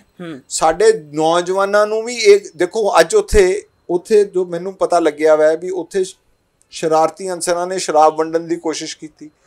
ਔਰਤਾਂ ਤੱਕ ਰਾਤ ਨੂੰ ਭੇਜਣ ਦੀ ਕੋਸ਼ਿਸ਼ ਕੀਤੀ ਜਾਂ ਹੋਰ ਤਰ੍ਹਾਂ ਦੇ ਜਿਹਨੂੰ ਕਹੀਏ ਪ੍ਰੋਪੇਗੈਂਡਾ ਵੀ ਕਰਨ ਦੀ ਕੋਸ਼ਿਸ਼ ਕੀਤੀ। ਕੋਈ ਕੋਈ ਟਸ ਤੋਂ ਮਸ ਨਹੀਂ ਹੋਇਆ। ਲੋਕ ਜਿਹੜੇ ਸੀਗੇ ਸੰਭਲੇ ਹੋਏ ਐ ਬੜੇ ਅਰਦਾਸ ਕਰਦੇ ਪਏ ਐ ਵਾਹਿਗੁਰੂ ਦਾ ਨਾਮ ਲੈ ਰਹੇ ਐ। ਪੋਜ਼ਿਟਿਵ ਥਿੰਕਿੰਗ ਜਿਹੜੀ ਆ ਉੱਥੇ ਆ ਰਹੀ ਹੈ ਇੱਕ ਚਰਚਾ ਉੱਥੇ ਵੀ ਜੁੜਦੀ ਹੈ ਵੀ ਸਾਨੂੰ ਹੁਣ ਅਕਾਲੀ ਕਾਂਗਰਸ ਆਮ ਆਦਮੀ ਪਾਰਟੀ ਬੀਜੇਪੀ ਤੋਂ ਕਿਨਾਰਾ ਕਰਕੇ ਆਪਣਾ ਇੱਕ ਪਲੇਟਫਾਰਮ ਖੜਾ ਕਰਨਾ ਚਾਹੀਦਾ ਦੇਖੋ ਮੈਂ ਮੇਰੀ ਇੱਕ ਗੱਲ ਜੀ। ਮੇਰੀ ਗੱਲ ਸੁਣੋ ਮੈਂ ਜੋ ਤੁਹਾਨੂੰ ਫੇਰ ਇਹ ਗੱਲ ਕਰਦਾ ਹਾਂ ਜੀ। ਜਿਹੜੇ ਉਹਨਾਂ ਨੇ ਵੱਡੇ ਲੀਡਰਾਂ ਨੇ ਹੂੰ। ਜਿਹੜੀ ਉਹਨਾਂ ਨੇ ਗੱਲ ਕਹੀ ਕਿ ਅਸੀਂ ਇਹਨੂੰ ਨਾਨ ਪੋਲੀਟੀਕਲ ਰੱਖਣਾ ਹੈ ਜੀ। ਇਹੀ ਇਸ ਇਹਦੀ ਪਾਰਟ ਇਹਦੀ ਇਹਦੀ ਸਟਰੈਂਥ ਹੈਗੀ ਹੈ। ਹੂੰ ਜੀ। ਜਿਸ ਦਿਨ ਇਹ ਪੋਲੀਟੀਕਲ ਹੋਣ ਦੀ ਕੋਸ਼ਿਸ਼ ਕਰਨਗੇ ਹੂੰ। ਇਹ ਆਪਸ 'ਚ ਹੀ ਲੜਨਗੇ। ਜੀ। ਤੁਸੀਂ ਮੇਰੀ ਮੈਂ ਮੈਂ ਜਿਹੜੀ ਗੱਲ ਕਹਿਣਾ ਪੋਲੀਟੀਕਲ ਪਾਰਟੀ ਦਾ ਇੱਕ ਪਰਪਸ ਨਹੀਂ ਹੁੰਦਾ। ਪੋਲੀਟੀਕਲ ਪਾਰਟੀ ਨੇ ਤਾਂ ਮਲਟੀਪਰਪਸ ਚੀਜ਼ਾਂ ਦੇਖਣੀਆਂ ਹੁੰਦੀਆਂ। ਉਸ ਨੇ ਤਾਂ ਫਾਰਮਰ ਨੂੰ ਵੀ ਦੇਖਣਾ ਮੈਂ ਉਹਨੇ ਵਪਾਰੀ ਵੀ ਦੇਖਣਾ ਮੈਂ ਉਹਨੇ ਇੰਡਸਟਰੀਲਿਸਟ ਵੀ ਦੇਖਣਾ ਮੈਂ ਉਹਨੇ ਬੱਚੇ ਵੀ ਦੇਖਣੇ ਆ ਉਹਨੇ ਅਰਬਨ ਚੀਜ਼ ਵੀ ਦੇਖਣੀ ਹੈ ਸਾਰੀਆਂ ਚੀਜ਼ਾਂ ਦੇਖਣੀਆਂ ਹੁੰਦੀਆਂ ਸਾਰਿਆਂ ਨੂੰ ਬੈਲੈਂਸ ਕਰਨਾ ਹੁੰਦਾ ਵਾ। ਪਰ ਅੱਛੇ ਲੋਕ ਜਿਸ ਮਰਜ਼ੀ ਮੂਵਮੈਂਟ ਤੋਂ ਬਾਹਰ ਆਣ ਔਰ ਜਿਨ੍ਹਾਂ ਦੇ ਵਿੱਚ ਇਹ ਜਜ਼ਬਾ ਹੈ ਕਿ ਵੀ ਅਸੀਂ ਦੇਸ਼ ਦੀ ਜਾਂ ਆਪਣੇ ਸੂਬੇ ਦੀ ਸੇਵਾ ਕਰਨੀ ਹੈ। ਉਹ ਆਲਵੇਜ਼ ਵੈਲਕਮ ਹੈ। ਇਹ ਬਿਲਕੁਲ ਸਾਨੂੰ ਇਸ ਚੀਜ਼ ਦੀ ਘਬਰਾਹਟ ਨਹੀਂ ਹੈ ਕਿ ਵੀ ਉਹ ਪਾਰਟੀ ਕ੍ਰੀਏਟ ਕਰਦੇ ਪਏ ਹੈ ਜਾਂ ਉਹ ਕੁਝ ਹੋਏਗੀ? ਪਰ ਸਾਰਿਆਂ ਨਾਲੋਂ ਵੱਡੀ ਗੱਲ ਕਿ ਹਾਲੇ ਪਹਿਲਾਂ ਟੀਚਾ ਮਿੱਥ ਕੇ ਜਿਹੜਾ ਮਿੱਥ ਕੇ ਗਏ ਹੋਏ ਹੋ ਪਹਿਲਾਂ ਉਹਨੂੰ ਅਚੀਵ ਕਰੋ। ਇਹ ਚੀਜ਼ਾਂ ਜਿਹੜੀਆਂ ਮੈਂ ਇਹ ਤਾਂ ਜ਼ਿੰਦਗੀ 'ਚ ਹੁੰਦੀਆਂ ਹੀ ਰਹਿਣੀਆਂ। ਜੀ ਰਮਨ ਜੀ ਅੰਦੋਲਨ ਚੱਲ ਰਿਹਾ ਅੰਦੋਲਨ ਵਿੱਚ ਬੜੀਆਂ ਚੀਜ਼ਾਂ ਨਵੀਆਂ। ਤੁਸੀਂ ਵੀ ਗੱਲ ਕਰ ਰਹੇ ਹੋ ਬਹੁਤ ਚੀਜ਼ਾਂ ਸਾਨੂੰ ਨਵੀਆਂ ਉੱਥੇ ਦੇਖਣ ਨੂੰ ਮਿਲੀਆਂ ਭਾਵੇਂ ਉਹ ਪੁਰਾਣੇ ਪੰਜਾਬ ਦੀ ਗੱਲ ਹੋਵੇ ਹਰਿਆਣਾ ਪੰਜਾਬ ਇਕੱਠਾ ਬੈਠਾ ਉੱਥੇ ਤਾਂ ਇੱਕ ਚਰਚਾ ਇਹ ਜੁੜੀ ਆ ਚੌਥਾ ਥੰਮ ਕਿਹਾ ਜਾਂਦਾ ਮੀਡੀਆ ਨੂੰ। ਮੀਡੀਆ ਤੇ ਵੱਡੀ ਚਰਚਾ ਹੋ ਰਹੀ ਆ ਉੱਥੇ ਜਿਹੜਾ ਸਾਡਾ ਨੈਸ਼ਨਲ ਮੀਡੀਆ ਜਿਹਨੂੰ ਗੋਦੀ ਮੀਡੀਆ ਦਾ ਨਾਮ ਦਿੱਤਾ ਗਿਆ ਵਾ ਉੱਥੇ ਜਾਂਦਾ ਤਾਂ ਉਹਦਾ ਵਿਰੋਧ ਹੁੰਦਾ ਵਾ। ਤੇ ਅੱਜ ਤੁਸੀਂ ਮੈਨੂੰ ਦੱਸੋ ਵੀ ਅੱਜ ਚਰਚਾ ਕਿਸਾਨੀ ਤੇ ਜ਼ਰੂਰੀ ਆ ਜਾਂ ਰਾਹੁਲ ਗਾਂਧੀ ਤੇ ਜ਼ਰੂਰੀ ਹੈ ਮੈਂ ਤੁਹਾਨੂੰ ਤੁਸੀਂ ਇਹ ਗੱਲ ਜਿਹੜੀ ਕੀਤੀ ਨਾ ਤੁੰਨਾ ਸਾਹਿਬ ਅੱਜ ਦੀ ਡੇਟ ਦੇ ਵਿੱਚ ਜਦੋਂ ਕਹਿੰਦੇ ਨਾ ਕਿ ਜਦੋਂ ਜਦੋਂ ਇਨਕਲਾਬ ਆਂਦਾ ਵੈ ਜਦੋਂ ਕੋਈ ਰੈਵੋਲੂਸ਼ਨ ਆਂਦੀ ਹੈਗੀ ਹੈ ਤੇ ਉਹਦੇ ਵਿੱਚ ਬੜੇ ਜਿਹੜੀ ਚੀਜ਼ਾਂ ਆਂਦੀਆਂ ਵੈ ਉਹ ਫੈਜ਼ ਅਹਿਮਦ ਫੈਜ਼ ਦਾ ਸ਼ੇਰ ਹੈਗਾ ਵੈ ਕਹਿੰਦਾ ਕਿ कि वो वक्त करीब आ बैठा है जी ए खाक नशीनों उठ बैठो हम्म वो वक्त करीब आ बैठा है जब ਤਾਜ ਉਛਾਲੇ ਜਾਣਗੇ ਔਰ ਤਖਤ ਗਿਰਾਏ ਜਾਣਗੇ ਬਿਲਕੁਲ। ਤਾਂ ਮੇਰੀ ਮੇਰੀ ਬੇਨਤੀ ਇਹ ਹੈ ਵੀ ਜਿਵੇਂ ਇਹ ਵੀ ਤਖਤ ਜਿਹੜਾ ਗੋਦੀ ਮੀਡੀਆ ਦਾ ਸੀਗਾ ਨਾ ਇਹ ਗਿਰ ਗਿਆ ਹੈ ਹੂੰ ਉੱਥੇ ਜੇ ਲੋਕਾਂ ਨੂੰ ਇੱਕ ਮਿੰਟ ਦੀ ਖਬਰ ਹੈ ਇਹ ਇਨਫੋਰਮੇਸ਼ਨ ਜਿਹੜੀ ਟੈਕਨੋਲੋਜੀ ਦੇ ਨਾਲ ਔਰ ਜਿਹੜੇ ਤੁਹਾਡੇ ਚੈਨਲ ਹੈਗੇ ਜਿਹੜੇ ਵੈਬ ਚੈਨਲ ਹੈ ਜਿਹੜੇ ਨਹੀਂ ਉਹਨਾਂ ਨੂੰ ਇੰਨਾ ਇਨਫਰਾਸਟ੍ਰਕਚਰ ਅਫੋਰਡ ਕਰ ਸਕਦੇ। ਪਰ ਸੱਚਾਈ ਲਿਆਉਣ ਦੇ ਵਿੱਚ ਤੁਸੀਂ ਸਾਰੇ ਅੱਗੇ ਜਿੱਤ ਗਏ ਹੋ। ਤੁਹਾਨੂੰ ਹੱਸ ਹੱਸ ਕੇ ਲੋਕ ਤੁਹਾਨੂੰ ਇੰਟਰਵਿਊ ਦਿੰਦੇ ਪਏ ਆ। ਤੁਹਾਨੂੰ ਬੁਲਾ ਬੁਲਾ ਕੇ ਇੰਟਰਵਿਊ ਦਿੰਦੇ ਪਏ ਆਪਣੀਆਂ ਗੱਲਾਂ ਕਹਿ ਰਹੇ ਹੋ। ਉਹ ਤੁਸੀਂ ਉਸ ਬੰਦੇ ਦੀ ਜਿਹਦੀ ਕਦੀ ਵੀ ਫੋਟੋ ਕਿਤੇ ਨਹੀਂ ਆਣੀ ਸੀਗੀ। ਤੁਸੀਂ ਉਹਦੀ ਵੀ ਗੱਲ ਅੱਗੇ ਲਿਆ ਕੇ ਦੱਸ ਰਹੇ ਹੋ। ਉਹ ਚਾਹੇ ਜਿੰਨੇ ਮਰਜ਼ੀ ਸਿੱਧੇ ਤਰੀਕੇ ਨਾਲ ਦੱਸ ਰਿਹਾ। ਤੁਸੀਂ ਇੱਕ ਤਾਂ ਉਹਨਾਂ ਦੇ ਮੂੰਹ ਦੇ ਵਿੱਚ ਲਫ਼ਜ਼ ਪਾਉਣ ਦੀ ਕੋਸ਼ਿਸ਼ ਨਹੀਂ ਕਰ ਰਹੇ ਹੈਗੇ। ਤੁਸੀਂ ਦਿਲਾਂ ਉਹਨਾਂ ਦੀ ਗੱਲ ਪਰ ਗੋਦੀ ਮੀਡੀਆ ਕਿਉਂਕਿ ਉਹ ਪੇਡ ਮੀਡੀਆ ਵੈ। ਉਹ ਇਹਨਾਂ ਦੇ ਪੇਰੋਲਸ ਤੇ ਹੈ। ਉਹ ਇਹਨਾਂ ਤੋਂ ਪੈਸੇ ਕਮਾਉਂਦਾ ਵੈ। ਇਹਨਾਂ ਦਾ ਬੜਾ ਵੱਡਾ ਕਰੋੜਾਂ ਅਰਬਾਂ ਦਾ ਬਜਟ ਹੈਗਾ ਵਾ ਜਿਹੜਾ ਉਹ ਦੇਣ ਦੇ ਵਿੱਚ ਉਹ ਕੰਮ ਆਉਂਦੇ ਆ। ਉਹ ਮੇਨ ਮੁੱਦੇ ਤੋਂ ਭਟਕਾਣਾ ਤਾਂ ਉਹਨਾਂ ਦਾ ਪਹਿਲੇ ਦਿਨ ਤੋਂ ਉਹਨਾਂ ਦਾ ਏਜੰਡਾ ਰਿਹਾ। ਪਹਿਲਾਂ ਉਹਨਾਂ ਨੇ ਖਾਲਿਸਤਾਨੀ ਕਿਹਾ ਕਦੀ ਅਰਬਨ ਨਕਸਲ ਕਿਹਾ ਕਦੀ ਕੁਝ ਕਿਹਾ। ਮਤਲਬ ਤੁਸੀਂ ਦੇਖ ਲਓ ਇਹ ਗੱਲਾਂ ਤਾਂ ਤੁਹਾਡੇ ਸਾਹਮਣੇ ਹੀ ਹੈ ਹੂੰ। ਔਰ ਤੁਸੀਂ ਦਿਖਾਤਾ ਵੀ ਆਹ ਦੇਖੋ ਇਹ ਬਾਬਾ 90 ਸਾਲ ਦਾ ਬੈਠਾ ਤੁਹਾਨੂੰ ਖਾਲਿਸਤਾਨੀ ਲੱਗਦਾ। ਇਹ ਬੰਦਾ ਉੱਥੇ ਵਿਚਾਰਾ ਇੱਕ ਬੱਚਾ ਬੈਠਾ ਉੱਥੇ ਮਾਪਿਓ ਦੀਆਂ ਪੈਰਾਂ ਘੁੱਟਦਾ ਪਿਆ ਵੈ ਉੱਥੇ ਔਰਤਾਂ ਜਿਹੜੀਆਂ ਵੈ ਉੱਥੇ ਕੰਮ ਕਰ ਰਹੀਆਂ ਹੈਗੀਆਂ। ਤੁਹਾਨੂੰ ਇਹ ਅਰਬਨ ਨਕਸਲ ਲੱਗਦੇ ਪਏ। ਮਤਲਬ ਤੁਸੀਂ ਉਹਨਾਂ ਦੀ 1 ਮਿੰਟ ਦੇ ਵਿੱਚ ਜਿਹੜਾ ਉਹ ਗੁਬਾਰਾ ਬਣਾਉਂਦੇ ਤੁਸੀਂ 1 ਮਿੰਟ 'ਚ ਪਿੰਚਰ ਕਰ ਦਿੰਦੇ ਹੋ। ਹੁਣ ਤੁਸੀਂ ਰਾਹੁਲ ਗਾਂਧੀ ਜੀ ਦੀ ਗੱਲ ਕਹੀ। ਰਾਹੁਲ ਗਾਂਧੀ ਮੇਰੀ ਗੱਲ ਦੱਸੋ ਰਾਹੁਲ ਗਾਂਧੀ ਵੀ ਇੱਕ ਸ਼ਹੀਦ ਪਰਿਵਾਰ ਦਾ ਵਾਰਿਸ ਹੂੰ। ਕਾਂਗਰਸ ਦੇ ਸਾਡੇ ਐਕਸ ਪ੍ਰਧਾਨ ਨੇ ਇਸ ਟਾਈਮ ਉਹ ਪ੍ਰਧਾਨ ਹੈਗੇ ਨੇ ਸੋਨੀਆ ਜੀ। ਜੀ। ਕੰਟਰੋਵਰਸੀ ਸਿਰਫ ਇਹ ਵੀ ਸਾਡਾ ਸਥਾਪਨਾ ਦਿਵਸ ਸੀਗਾ ਤੇ ਉਹਨਾਂ ਦੇ ਜਿਹੜੇ ਰਿਲੇਟਿਵਸ ਜਿਹੜੇ ਉਹਨਾਂ ਦੇ ਉਹ ਪਹਿਲਾਂ ਤਾਂ ਪ੍ਰੋਗਰਾਮ ਸੀ ਕਿ ਉਹਨਾਂ ਨੇ ਬਾਹਰ ਜਾਣਾ ਸੀਗਾ। ਉੱਥੇ ਕਾਇਦਾ ਸਥਾਪਨਾ ਦਿਵਸ ਸਾਰੇ ਹਿੰਦੁਸਤਾਨ 'ਚ ਮਨਾਇਆ ਗਿਆ। ਸਾਰੀ ਜਗ੍ਹਾ ਤੁਸੀਂ ਵੀ ਕਵਰ ਕੀਤਾ ਅਸੀਂ ਫੋਟੋਆਂ ਵੀ ਪਾਈਆਂ ਆਪਣੀ ਸੈਲਫੀ ਵਿਦ ਜਿਹੜੇ ਸਾਡੇ ਸਿੰਬਲਸ ਹੈਗੇ ਆ। ਸਾਰਿਆਂ ਨਾਲੋਂ ਵੱਡੀ ਗੱਲ ਇਹ ਕਿਉਂ ਇਸ ਚੀਜ਼ਾਂ ਨੂੰ ਕਰਦੇ ਪਏ ਬੀਜੇਪੀ ਵਾਲੇ? ਕਿਉਂ ਇਹ ਗੋਦੀ ਮੀਡੀਆ ਹੂੰ। ਕਿਉਂਕਿ ਬੀਜੇਪੀ ਕੋਲੇ ਇਤਿਹਾਸ 'ਚ ਕੁਝ ਕੱਢਣ ਨੂੰ ਹੈ ਨਹੀਂ ਜੀ। ਜਿਹੜੇ ਬੰਦੇ ਇਤਿਹਾਸ 'ਚ ਕੱਢਣ ਦੀ ਕੋਸ਼ਿਸ਼ ਵੀ ਕਰਦੇ ਨੇ ਜੀ। ਜੇ ਉਹਨਾਂ ਨੇ ਜੇ ਪਟੇਲ ਸਾਹਿਬ ਨੂੰ ਚੱਕਿਆ ਵਾ ਸਰਦਾਰ ਵੱਲਭ ਭਾਈ ਪਟੇਲ ਨੂੰ ਲਿਆ ਉਹ ਵੀ ਕਾਂਗਰਸ। ਜੇ ਗਾਂਧੀ ਜੀ ਦੀ ਐਨਕ ਲੈਣ ਦੀ ਇੱਕ ਸਵੱਛਤਾ ਭਾਰਨ ਲਈ ਲੈ ਕੇ ਆਏ ਆ ਉਹ ਵੀ ਕਾਂਗਰਸ। ਈਵਨ ਇਹਨਾਂ ਦੇ ਜਿਹੜੇ ਇਹਨਾਂ ਦੇ ਜਿਹੜੇ ਗਵਲਕਰ ਸਾਹਿਬ ਤੇ ਜਿਹੜੇ ਬਾਕੀ ਜਿਹੜੇ ਹੈਗੇ ਸੌਰੀ ਇਹਨਾਂ ਦੇ ਜਿਹੜੇ ਪਹਿਲੇ ਮਿਨਿਸਟਰ ਵੀ ਰਹੇ ਸਾਡੀ ਕੈਬਨਿਟ ਦੇ ਵਿੱਚ ਜਿੱਥੇ ਜਵਾਹਰ ਲਾਲ ਨਹਿਰੂ ਜੀ ਦੀ ਕੈਬਨਿਟ ਚ ਰਹੇ ਨੇ। ਉਹ ਵੀ ਜਿਹੜਾ ਵਾ ਕਾਂਗਰਸ ਨੇ ਉਹਨਾਂ ਨੂੰ ਰੈਕਗਨਾਈਜੇਸ਼ਨ ਸ਼ਾਮਾ ਪ੍ਰਸਾਦ ਮੁਖਰਜੀ ਦੀ ਗੱਲ ਕਰ ਰਹੇ ਹੁਣ ਮੈਂ ਤੁਹਾਨੂੰ ਜਿਹੜੀ ਗੱਲ ਕਹਿਣਾ ਚਾਹੁੰਦਾ ਮੈਂ ਵੀ ਪ੍ਰੋਬਲਮ ਇਹਨਾਂ ਨੂੰ ਇਤਿਹਾਸ ਦੇ ਨਾਲ ਬੜੀ ਵੱਡੀ ਹੈ। ਇਹ ਇਤਿਹਾਸ ਦੀ ਹੁਣ ਜੇ ਖਰੀਦਦੇ ਆ ਖਰੀਦ ਕੇ ਇਸ ਵਰਕਰ ਨੂੰ ਕੱਢ ਲੈਂਦੇ। ਤੇ ਕੰਪੇਅਰ ਕਰਨ ਦੀ ਕੋਸ਼ਿਸ਼ ਕਰਦੇ ਆ ਇਹ ਭਗਤ ਸਿੰਘ ਦੇ ਨਾਲ। ਹੂੰ। ਭਗਤ ਸਿੰਘ ਕਿਵੇਂ ਬਣ ਸਕਦਾ ਹੈ? ਜੀ। ਇੱਕ ਇੱਕ ਬੰਦੇ 'ਚ ਜਿਹਦੇ 'ਚ ਜਨੂਨ ਹੈ ਸਾਡੇ ਹਿੰਦੁਸਤਾਨ ਦੇ ਪੰਜਾਬ ਦੇ ਵਿੱਚ ਇਹਨੇ ਪੰਜਾਬ ਦੀ ਇਹ ਸਾਈਕ ਨਹੀਂ ਹਲੇ ਤੱਕ ਸਮਝ ਸਕੇ। ਸਾਡੇ ਪੰਜਾਬੀਆਂ ਦੇ ਵਿੱਚ ਨਾ ਅਨਖ ਦੇ ਲਈ ਇੱਜ਼ਤ ਦੇ ਲਈ ਆਪਣੀ ਜਾਨ ਤੱਕ ਕੁਰਬਾਨ ਕਰਨ ਦਾ ਬੜਾ ਜ਼ਬਰਦਸਤ ਜਜ਼ਬਾ ਹੈ। ਹੂੰ। ਜਾਨ ਬਚਾਉਣ ਦਾ ਨਹੀਂ ਹੈ। ਜੀ। ਔਰ ਸਾਡੇ ਇੱਥੇ ਜਿਹੜੇ ਹੈਗਾ ਵਾ ਜਿਹੜਾ ਗੱਦਾਰ ਹੈ ਨਾ ਲੋਕ ਉਸ ਨੂੰ ਬੜੀ ਹੀਨ ਭਾਵਨਾ ਨਾਲ ਦੇਖਦੇ ਆ। ਜੀ। ਜਦੋਂ ਤੁਸੀਂ ਗੱਦਾਰੀਆਂ ਕਰਦੇ ਹੈਗੇ ਹੋ ਚਾਹੇ ਦੋਸਤੀਆਂ ਦੇ ਵਿੱਚ ਵੀ ਗੱਦਾਰੀਆਂ ਕਰਦੇ ਹੋ ਬਿਲਕੁਲ। ਤੇ ਅਸੀਂ ਉਹ ਸਮਾਜ ਉਹਨੂੰ ਬਖਸ਼ਦਾ ਨਹੀਂ ਹੈਗਾ। ਜੀ। ਇਹਨਾਂ ਨੇ ਤਾਂ ਦੇਸ਼ ਨਾਲ ਗੱਦਾਰੀਆਂ ਕੀਤੀਆਂ ਹੋਈਆਂ ਇਹਨਾਂ ਨੇ ਤਾਂ ਸੂਹੀ ਇਹ ਇਹ ਤਾਂ ਇਹ ਇਹ ਤਾਂ ਇਹ ਤਾਂ ਇਨਫਾਰਮਰ ਰਹੇ ਨੇ ਬ੍ਰਿਟਿਸ਼ ਐਮਪਾਇਰ ਦੇ। ਉਹ ਉਹ ਸਵਰਕਰ ਨੇ ਮਾਫੀਆਂ ਮੰਗੀਆਂ ਹੋਈਆਂ। ਪਰ ਮੈਂ ਤਾਂ ਵੀ ਕਹਿਣਾ ਮੈਂ ਮੈਂ ਅੱਜ ਇੱਕ ਗੱਲ ਸਮਝਣ ਦੀ ਕੋਸ਼ਿਸ਼ ਇਹ ਹਿਸਟਰੀ ਨੂੰ ਖਰੀਦਿਓ ਨਾ। We have to live with history ਬਿਲਕੁਲ। ਜੋ ਵੀ ਹਿਸਟਰੀ 'ਚ ਹੋਇਆ ਹੈਗਾ ਵੈ ਉਹਨੂੰ ਚੇਂਜ ਨਹੀਂ ਕੀਤਾ ਜਾ ਸਕਦਾ। ਬਟ ਆਪਣਾ ਫਿਊਚਰ ਜ਼ਰੂਰ ਇੰਪਰੂਵ ਕਰੋ। ਜੀ ਬਿਲਕੁਲ। ਤੁਹਾਨੂੰ ਅੱਜ ਦੀ ਡੇਟ 'ਚ ਬੀਜੇਪੀ ਦੀ ਜਿਹੜੀ ਪੰਜਾਬ ਦੀ ਲੀਡਰਸ਼ਿਪ ਹੈ ਉਹਨਾਂ ਨੂੰ ਹੱਥ ਜੋੜ ਕੇ ਬੇਨਤੀ ਹੈਗੀ ਹੈ ਕਿ ਤੁਸੀਂ ਤੁਸੀਂ ਆਪਣੇ ਜਿਹੜੇ ਦੋ ਫੰਕਸ਼ਨ ਹੈਗੇ ਆਰਾਮ ਨਾਲ ਬਾਅਦ ਚੋਂ ਕਰ ਲੈਣਾ। ਫਿਲਹਾਲ ਤੁਸੀਂ ਇਹ ਸਟਾਰਮ ਨੂੰ ਪਾਸ ਹੋਣ ਦਿਓ। ਜੀ। ਇਹ ਜਿਹੜਾ ਝੱਖੜ ਆਇਆ ਵੈ ਇਹ ਝੱਖੜ ਨੇ ਤੁਹਾਨੂੰ ਤੁਹਾਨੂੰ ਹਲੇ ਬੜੀ ਬੁਰੀ ਤਰ੍ਹਾਂ ਹਾਰਮ ਕਰਨਾ ਮੈਂ। ਜੀ। ਹੱਲੇ ਤੁਹਾਡੀ ਰੈਪੂਟੇਸ਼ਨ ਬਿਲਕੁਲ ਐਟ ਜ਼ੀਰੋ ਹੈਗੀ ਹੈ। ਤੁਸੀਂ ਜੇ ਸ਼ਾਂਤ ਰਹੋਗੇ ਔਰ ਤੁਸੀਂ ਆਪਣੀ ਸਗੋਂ ਸੀਨੀਅਰ ਲੀਡਰਸ਼ਿਪ ਨੂੰ ਇਹ ਗੱਲ ਜਾ ਕੇ ਸਮਝਾਓ ਕਿ ਪੰਜਾਬ ਇੱਕ ਡਿਫਰੈਂਟ ਤਰ੍ਹਾਂ ਦਾ ਸੂਬਾ ਹੈਗਾ ਵਾ। ਹਰਿਆਣਾ ਇੱਕ ਡਿਫਰੈਂਟ ਤਰ੍ਹਾਂ ਦੇ ਸੂਬੇ ਹੈ। ਅਸੀਂ ਜਿਹੜਾ ਤੁਸੀਂ ਪਾੜਨ ਦੀ ਕੋਸ਼ਿਸ਼ ਇਹਨਾਂ ਨਾਲ ਪੋਲਿਟਿਕਸ ਦੀ ਖੇਡ ਨਾ ਕਰੋ। ਇਹਨਾਂ ਦੀ ਜਿਹੜੀ ਗੱਲ ਹੈ ਜਾਇਜ਼ ਹੈ ਇਹਨਾਂ ਦੀ ਮੰਗੋ। ਔਰ ਇਹਨਾਂ ਦੀ ਇਹਨਾਂ ਤੋਂ ਇਹ- ਇਸ ਚੀਜ਼ ਨੂੰ ਜਿਹੜਾ ਵਾ ਜਿੰਨੀ ਜਲਦੀ ਨਿਬੇਟਿਆ ਜਾਵੇ ਕਿਉਂਕਿ ਸਾਡੇ ਬਹੁਤ ਤਕਲੀਫ ਦੇ ਵਿੱਚ ਉੱਥੇ ਲੋਕ ਰਹਿ ਰਹੇ ਨੇ। ਨਹੀਂ ਠੰਡ ਦੇ ਵਿੱਚ ਰਹਿ ਰਹੇ ਨੇ। ਤੇ ਜਿਹੜੇ ਇਹਨਾਂ ਦੇ ਬੀਜੇਪੀ ਦੇ ਲੋਕ ਇਹ ਕਹਿ ਰਹੇ ਨੇ ਵੀ ਅਸੀਂ ਬਿੱਟੂ ਜੀ ਦਾ ਵਿਰੋਧ ਕਰਨਾ ਮੈਂ ਇੱਥੇ ਆ ਕੇ।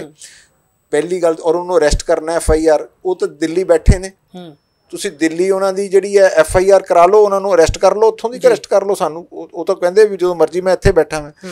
ਜੇ ਤੁਸੀਂ ਜੰਤਰ ਜੇ ਉਹਨਾਂ ਦੇ ਬਰਾਬਰੀ ਕਰਨੀ ਹੈ ਤੇ ਜੰਤਰ ਮੰਤਰ ਉਹਨਾਂ ਦੇ ਬਰਾਬਰ ਇੱਕ ਧਰਨਾ ਲਾ ਲਓ। ਤੇ ਤੁਸੀਂ ਵੀ ਜਿਵੇਂ ਉਹ ਠੰਡ ਦੇ ਵਿੱਚ ਸਾਰੇ ਦਿਨ 'ਚ ਬੈਠੇ ਆਪਣੇ ਆਪ ਨੂੰ ਉਹਦੇ ਨਾਲ ਉਹਨਾਂ ਨਾਲ ਕਾਂਗਰਸੀ ਸਾਰੇ ਬੈਠ ਕੇ ਉਹਨਾਂ ਦਾ ਸਮਰਥਨ ਦੇ ਰਿਹਾ ਤੁਸੀਂ ਵੀ ਭਾਜਪਾ ਵਾਲੇ ਵੀ ਉੱਥੇ ਕਰ ਲਓ ਜੀ ਵੈਲਕਮ ਟੂ ਲੁਧਿਆਣਾ ਆਲਸੋ ਜੇ ਵਰਕਰ ਨੂੰ ਬਿਠਾ ਕੇ ਚਲੇ ਜਾਣ ਅਸ਼ਵਨੀ ਜੀ ਖੁਦ ਆ ਕੇ ਇੱਥੇ ਬੈਠਣ ਇਹਨਾਂ ਦੇ ਇੱਥੋਂ ਦੇ ਜਿਹੜੇ ਪ੍ਰਧਾਨ ਹੈਗੇ ਨੇ ਉਹ ਇੱਥੇ ਆ ਕੇ ਬੈਠਣ ਜਿਹੜੇ ਇਹਨਾਂ ਦੇ ਸਾਬਕਾ ਸੋ ਕਾਲਡ ਐਮਐਲਏ ਹੈਗੇ ਨੇ ਜਾਂ ਐਮਪੀ ਹੈਗੇ ਨੇ ਉਹਨਾਂ ਨੂੰ ਵੀ ਇਹਨਾਂ ਦੇ ਬਰਾਬਰ ਲਿਆ ਕੇ ਬਰਾਬਰ ਦੀ ਟੱਕਰ ਰੱਖ ਕੇ ਤਾਂ ਦੱਸੋ ਨਾ।